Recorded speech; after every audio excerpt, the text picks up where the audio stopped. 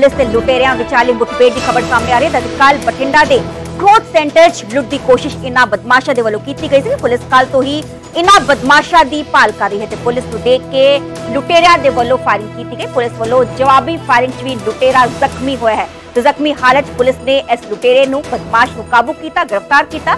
ਲੁਟੇਰੇ ਕੋਲੋਂ ਮੋਟਰਸਾਈਕਲ ਅਤੇ 12 ਬੋਰ ਦਾ ਦੇਸੀ ਕੱਟਾ ਵੀ ਬਰਾਮਦ ਹੋਇਆ ਤੇ ਬਠਿੰਡਾ ਦੀ ਖਬਰ ਹੈ ਜਿੱਥੇ ਕਿ ਬਠਿੰਡਾ 'ਚ ਐਨਕਾਊਂਟਰ ਹੋਇਆ ਹੈ। ਪੁਲਿਸ ਨੇ ਲੁਟੇਰੇ ਵਿਚਾਲੇ ਮੁਠਭੇੜ ਹੋਈ ਹੈ ਤੇ ਕੱਲ ਬਠਿੰਡਾ ਦੇ ਗ੍ਰੋਥ ਸੈਂਟਰ 'ਚ ਅੱਜ ਲੁਟੇਰਾ ਸੀਗਾ। ਲੁੱਟ ਦੀ ਕੋਸ਼ਿਸ਼ ਕਰਨ ਆਇਆ ਸੀਗਾ। ਪੁਲਿਸ ਕੱਲ ਤੋਂ ਹੀ ਇਸ ਜੋ ਲੁਟੇਰੇ ਦੀ ਭਾਲ ਕਰ ਰਹੀ ਸੀਗੀ, ਪੁਲਿਸ ਨੂੰ ਦੇਖ ਕੇ ਆ ਜੋ ਲੁਟੇਰੇ ਸੀਗਾ, ਇਸ ਦੇ ਵੱਲੋਂ ਫਾਇਰਿੰਗ ਕੀਤੀ ਗਈ। ਪੁਲਿਸ ਨੇ ਵੀ ਜਵਾਬੀ ਫਾਇਰਿੰਗ ਕੀਤੀ। ਆ ਲੁਟੇਰਾ ਜ਼ਖਮੀ ਹੋ ਗਿਆ, ਬਦਮਾਸ਼ ਜ਼ਖਮੀ ਹੋ ਗਿਆ।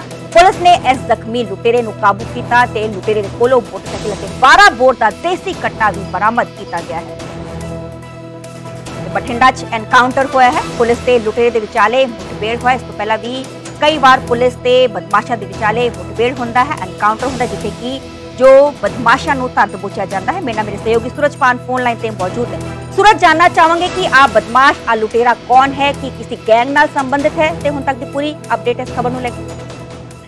ਦੇਖੋ, ਇਸ ਘਟਨਾ ਦੀ ਗੱਲ ਕੀਤੀ ਜਾਵੇ ਤਾਂ ਕੱਲ ਘਟਨਾ ਹੁੰਦੀ ਹੈ। ਕਿ ਟਰੱਕ ਡਰਾਈਵਰ ਤੋਂ 25000 ਰੁਪਏ ਦੀ ਲੁੱਟ ਕੀਤੀ ਜਾਂਦੀ ਹੈ। ਲੁੱਟ ਕਰਨ ਤੋਂ ਬਾਅਦ ਪੁਲਿਸ ਨੂੰ ਸ਼ਿਕਾਇਤ ਦਰਜ ਹੁੰਦੀ ਹੈ ਤੇ ਪੁਲਿਸ ਉਸ ਆਰੋਪੀ ਦਾ ਪਿੱਛਾ ਕਰਦੀ ਹੈ। ਕੱਲ ਵੀ ਇੱਕ ਦੋ ਜਗ੍ਹਾ ਤੇ ਉਸ ਆਰੋਪੀ ਦੀ ਭਾਲ ਕੀਤੀ ਸੀ, ਪਰ ਅੱਜ ਅਚਾਨਕ ਪੁਲਿਸ ਨੂੰ ਇਹ ਇਨਫੋਰਮੇਸ਼ਨ ਮਿਲਦੀ ਹੈ ਕਿ ਉਹ ਬੰਦਾ ਬਠਿੰਡਾ ਦੀ ਕਿਸੇ ਜਗ੍ਹਾ ਦੇ ਉੱਪਰ ਘੁੰਮ ਰਿਹਾ ਔਰ ਉਸ ਜਗ੍ਹਾ ਦੇ ਉੱਪਰ ਪੁਲਿਸ ਜਦੋਂ ਦਬਸ਼ ਦਿੰਦੀ ਹੈ, ਤਾਂ ਆਖਿਰਕਾਰ ਪੁਲਿਸ ਦੇ ਉੱਪਰ ਉਸ ਬੰਦੇ ਵੱਲੋਂ ਪਹਿਲਾਂ ਹਵਾਈ ਫਾਇਰ ਕੀਤਾ ਜਾਂਦਾ 12 ਬੋਰ ਦੇ ਦੇਸੀ ਕੱਟੇ ਦੇ ਨਾਲ ਫਾਇਰ ਕੀਤਾ ਜਾਂਦਾ ਤੇ ਉਸ ਤੋਂ ਬਾਅਦ ਜਵਾਬ ਦੇ ਵਿੱਚ ਪੁਲਿਸ ਨੇ ਉਸਦੇ ਫਾਇਰ ਹੈ ਜਿਹੜਾ ਉਸ ਦੀ ਲੱਤ ਦੇ ਵਿੱਚ ਵੱਜਿਆ ਦੋ ਗਨ ਸ਼ਾਟ ਇੰਜਰੀ ਉਹਦੇ ਹੋਈ ਹੈ। ਫਿਲਹਾਲ ਉਸ ਨੂੰ ਬਠਿੰਡਾ ਦੇ ਸਰਕਾਰੀ ਹਸਪੀਟਲ ਦੇ ਵਿੱਚ ਭਰਤੀ ਕਰਾਇਆ ਗਿਆ ਕਿਉਂਕਿ ਬਠਿੰਡਾ ਦੇ ਐਸਐਸਪੀ ਨੇ ਪਹਿਲੇ ਹੀ ਸਾਫ਼ ਕਰ ਦਿੱਤਾ ਸੀ ਕਿ ਕ੍ਰਾਈਮ ਨੂੰ ਲੈ ਕੇ ਕਿਸੇ ਤਰ੍ਹਾਂ ਦੀ ਵੀ ਢਿੱਲ ਹੈ। ਬਖਸ਼ੀ ਨਹੀਂ ਜਾਏਗੀ। ਜਿਸ ਤਰ੍ਹਾਂ ਦਾ ਕੋਈ ਰਿਐਕਟ ਕਰੇਗਾ ਉਸੇ ਤਰ੍ਹਾਂ ਦਾ ਉਸ ਨੂੰ ਰਿਪਲਾਈ ਕੀਤਾ ਜਾਏਗਾ ਕਿਉਂਕਿ ਖਾਸ ਤੌਰ ਤੇ ਜਿਹੜੇ ਕ੍ਰਿਮੀਨਲ ਨੇ ਉਹਨਾਂ ਕ੍ਰਿਮੀਨਲ ਬੰਦਿਆਂ ਨੂੰ ਵਾਰਨਿੰਗ ਜ਼ਰੂਰ ਦਿੱਤੀ ਸੀ।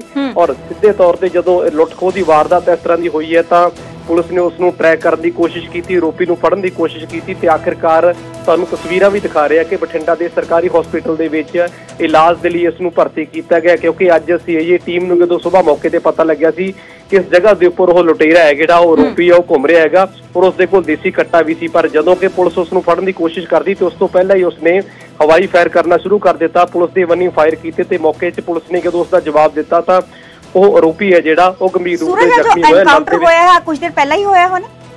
ਬਿਲਕੁਲ ਬਿਲਕੁਲ ਇਹ ਸੁਬਾਹ ਦੀ ਗੱਲ ਹੈ। ਹੁਣ ਤੋਂ ਘੰਟਾ ਅੱਧਾ ਘੰਟਾ ਘੰਟਾ ਪਹਿਲਾਂ ਦੀ ਗੱਲ ਹੈ। ਜਿਹੜੀਆਂ ਤਸਵੀਰਾਂ ਤੁਹਾਨੂੰ ਦਿਖਾ ਰਿਹਾ ਕਿ ਹਸਪੀਟਲ ਦੇ ਵਿੱਚ ਉਸ ਆਰੋਪੀ ਨੂੰ ਭਰਤੀ ਕੀਤਾ ਗਿਆ ਜੀ। ਜੀ ਜੀ। ਤੇ ਆ ਕੁਝ ਪਤਾ ਚੱਲ ਪਾਇਆ ਸੂਰਜ ਕਿ ਆ ਕਿਸੇ ਗੈਂਗ ਨਾਲ ਸੰਬੰਧਿਤ ਹੈ ਲੁਟੇਰਾ? ਕਿਉਂਕਿ ਇਸ ਕੋਲੋਂ ਬਰਾਮਦਗੀ ਵੀ ਹੋਈ ਹੈ। ਦੇਖੋ ਫਿਲਹਾਲ ਹਜੇ ਤੱਕ ਪੁਲਿਸ ਨੇ ਇਸ ਚੀਜ਼ ਦੀ ਪੁਸ਼ਟੀ ਨਹੀਂ ਕੀਤੀ ਕਿ ਆਖਿਰਕਾਰ ਬੈਕਗ੍ਰਾਉਂਡ ਕੀ ਰਿਹਾ। ਇਹ ਜ਼ਰੂਰ ਕਲੀਅਰ ਹੋਇਆ ਕਿ ਲੁੱਟਾ ਖੋਹ ਨੂੰ ਵਾਰਦਾਤ ਦੇਣ ਵਾਲਾ ਇਹ ਆਦਮੀ ਸੀਗਾ। ਜਿਸ ਦੇ ਗਨ ਸ਼ਾਟ ਇੰਜਰੀ ਹੋਈ ਹੈ ਦੋ ਫਾਇਰ ਇਸ ਦੀ ਲੱਤ ਦੇ ਵਿੱਚ ਲੱਗੇ ਨੇ ਹਸਪੀਟਲ 'ਚ ਭਰਤੀ ਕਰਾਇਆ ਗਿਆ ਕਿਉਂਕਿ ਤੁਹਾਨੂੰ ਯਾਦ ਕਰਵਾ ਦਈਏ ਕਿ ਕੱਲ ਗਰੋਥ ਸੈਂਟਰ ਦੇ ਵਿੱਚ ਟਰੱਕ ਡਰਾਈਵਰ ਤੋਂ 25000 ਰੁਪਏ ਦੀ ਲੁੱਟ ਕੀਤੀ ਗਈ ਸੀ ਹਥਿਆਰ ਦੇ ਨੋਕ ਤੇ ਪੈਸੇ ਖੋਏ ਗਏ ਸੀ ਤੇ ਉਸ ਤੋਂ ਬਾਅਦ ਦੀ ਪੁਲਿਸ ਹਰਕਤ ਦੇ ਵਿੱਚ ਆਈ ਸੀ ਪੁਲਿਸ। ਨੇ ਵੱਖ-ਵੱਖ ਟੀਮਾਂ ਬਣਾ ਕੇ ਆਰੋਪੀ ਨੂੰ ਭਾਲਣ ਦੀ ਕੋਸ਼ਿਸ਼ ਕੀਤੀ ਤੇ ਆਖਿਰਕਾਰ ਅੱਜ ਆਰੋਪੀ ਦੇ ਨਾਲ ਜਦੋਂ ਸਾਹਮਣਾ ਪੁਲਿਸ ਦਾ ਹੁੰਦਾ ਤਾਂ ਆਰੋਪੀ ਆ ਪੁਲਿਸ ਵੱਲ ਫਾਇਰ ਕਰਦਾ ਤੇ ਪੁਲਿਸ ਨੇ। ਜਵਾਬੀ ਫਾਇਰਿੰਗ ਦੇ ਵਿੱਚ ਇਸ ਨੂੰ ਜ਼ਖਮੀ ਕਰ ਦਿੱਤਾ ਹੈਗਾ